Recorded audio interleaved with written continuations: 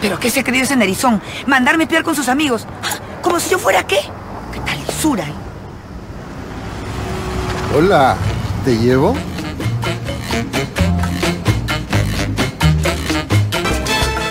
Yolandita, ¿por qué tan solita? Hola, Bruno. Aquí esperando un taxi. Taxi. ¿Vas a tomar un vil taxi cuando tienes a Bruno Picasso a tus pies? Por favor. Ay, gracias. La verdad, tú siempre tan amable. Lo menos que se merece una reina como tú. Sube, por favor. Vamos, ¿a dónde te llamo? Bueno, no estoy de humor para nada. A mi casa. Uy, esa carita y ese gesto. Te noto tan triste. No es para menos. Terminé con Peter. No me digas.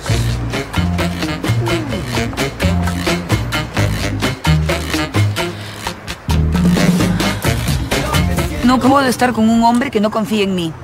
Yo siempre dije que ese tipo no te valoraba. Oye, pero qué lástima.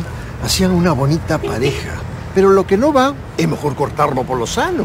¿Tú crees? Pero por supuesto, claro que sí, borrón y cuenta nueva. Si ese tipo no te valoraba, tampoco merece una lágrima tuya. Todo fin tiene su comienzo. Gracias, Bruno.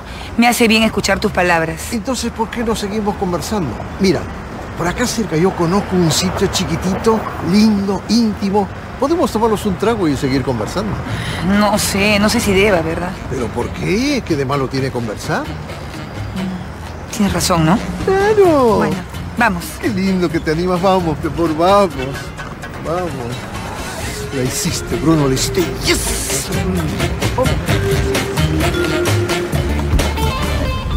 Escuché gritos de la señora Isabela. ¿Algún problema grave? Ella grita por todo, Peter. Se enteró que Raúl y su novia se van a casar el mismo día que ella y Leonardo.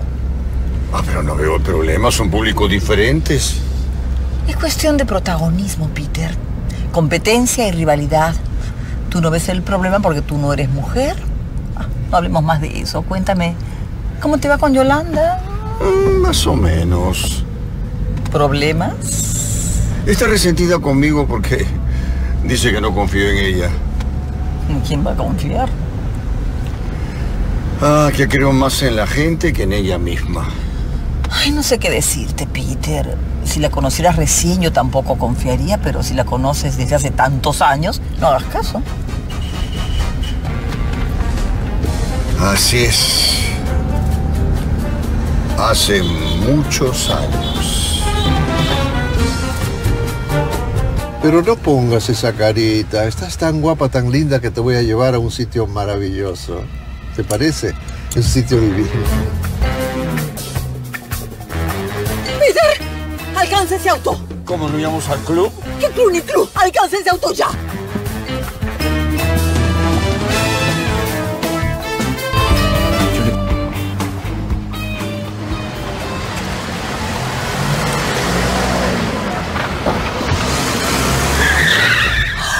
¿Qué tal bestia? ¿Has visto lo que ha hecho este animal? Eh, Ten cuidado, por favor, no vaya a ser un secuestro. ¿Qué secuestro Qué de ocho miedo. cuartos?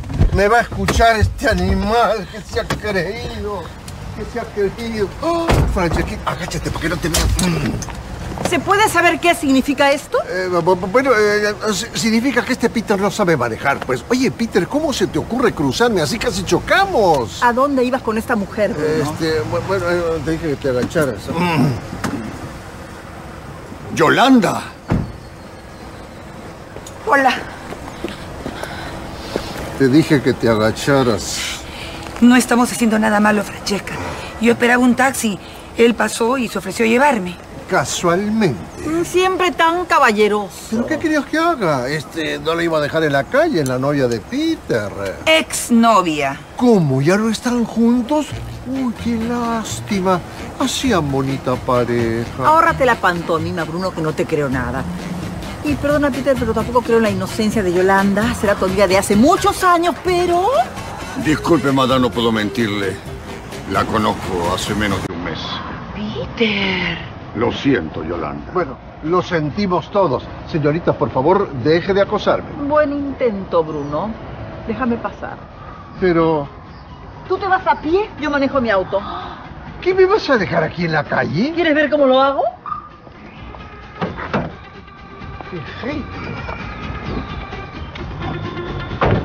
Yolandita, ¿Qué te parece si compartimos el taxi?